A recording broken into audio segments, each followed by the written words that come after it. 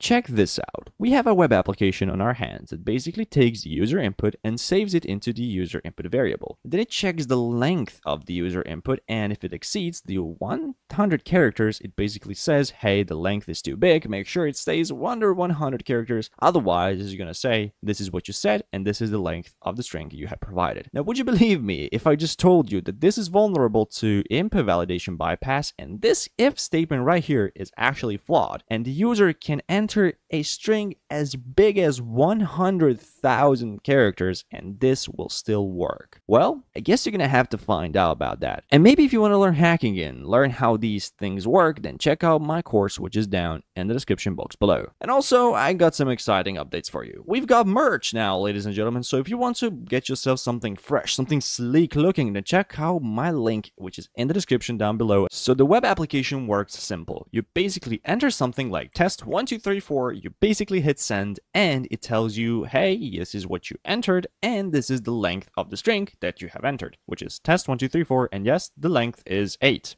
And if I was to enter a little bit of a longer string, for example, I copy this and I paste it a bunch of times and hit send, it says, hey, the length is too big, make sure that it stays under 100 characters. It works simple. So let's take a look at the backend code of this web application. The backend is built with JavaScript, as you have seen from the intro, and here is how it goes. First things first, we have the user input stored into the user input variable, and then the user input is checked whether it exceeds the 100 characters. So basically we do user input.length, and if it's higher than 100 characters, we'll do, hey, the length is too big, you know, make sure it stays under 100 characters. Otherwise, it basically says what we have entered and then also displays the length. Now, how in the world would this be vulnerable? Well, there is a neat little trick we, we can do to bypass this input validation and enter a string which is as big as we want it to be and still passes this here validation. I want to tell you why this is a security flaw.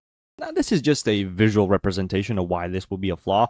Don't take this for granted. This is just like a my little silly and stupid representation of how and why I think it would be a bad thing. So let's get started. So I'm going to take the first character and feed it into the algorithm. The algorithm is going to do some magic, some math and computation, and obviously it's it is a bit of a resource expensive task. And let's say it takes 0.002 seconds to complete this task before it returns us a character, for example, hex C1. So RA got turned into hex C1 with hashing. Then obviously takes B character, feeds it into the algorithm. Algorithm does some magic. Let's say again takes 0.002 seconds and it prints out B1. I don't know. I'm just throwing examples. And this all in total averages to 0.008 seconds. Again, it's a very small number. Sorry for the 8 looking a little bit weird. So I hope you're starting to paint a little bit of a better picture. Get it? Because I'm in paint. I don't know why I even had to. I had to make make sure you get that joke, but I'm, I'm sorry. It won't happen again. What if an attacker enters 100,000 characters within a string and it passes through the input validation? What will happen? Let's say this is 100,000 characters long, and each character gets passed into the hashing algorithm, and then it basically throws us the output. Believe it or not, 100k characters equals to 200 seconds if each character takes 0.002 seconds. Think about it. Almost 5 minutes to complete this, and for those 5 minutes, everything will be slow and laggy and whatever. And in my opinion, this is a security vulnerability. So bypassing this altogether shouldn't be easy as what I'm about to show you. But hold on, let's take a little step back. Let me explain to you how does even this string length check work. Here is a string, which is test1234. And then if I do dot length, you can see the length of that string. And if I just was to update this, obviously the string, you know, the length updates with itself. And then if we hit enter, we basically return an integer, which just displays the number of characters was, that was used within the string. It's very simple. And if we say higher than 10, it will say that this string is higher than 10 characters. If we say higher than 30, it will say that this is higher than 30. And if we say 50, it's going to say false because this string is not more than 50 characters. But if we keep on adding the characters, eventually we will get it to be true. And as seen, it, that's the case. So if this is working flawlessly, how are we going to end up breaking the logic of this web application to bypass this? Just know that string can be checked with .length. But what else can be checked with .length apart from the string? Well, obviously numbers can, so numbers can just be checked with length, or maybe they can. I'm, I'm, not, I'm not sure, but obviously they can't. What about objects? Object.length? Huh, it's weird. So it seems like only strings can be checked. Let's create an object called g, and let's check the g's length. It's undefined. Well, that's weird. g.length is undefined. So seems like length can only be used on strings. But what if we, within the g, create a property called length, and just say, for example, 2.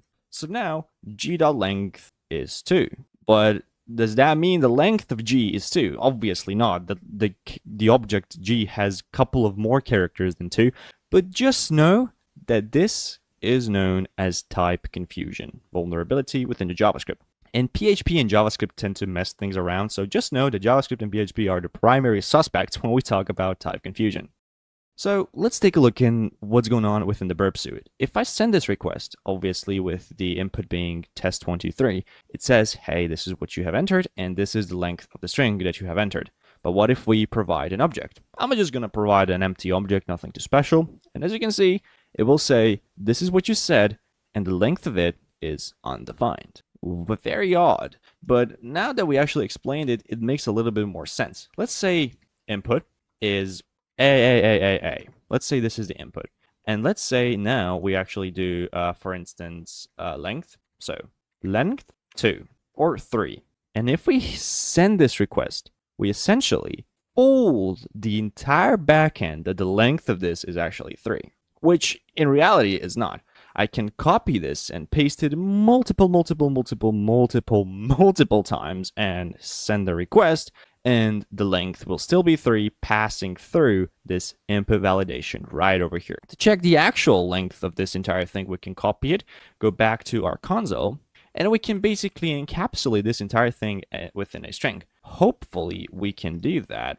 Uh, nope, we can't. Why can't we do that? Ah, there we go. So this entire thing, the length is 646 characters long. So we just entered 646 characters long and it passed through and it told us what we said within the length. So basically this is what we have input and it basically returned us an object. But why is it saying object object? Well, don't worry about it. This is probably just some weird edge casing on JavaScript when it returns it this way. So nothing to worry about there. So what can we take from this video? Just make sure if you are a developer to check the type off before you do anything. Thank you so much for watching this video. Make sure to subscribe, stay safe, stay responsible, and as always, peace.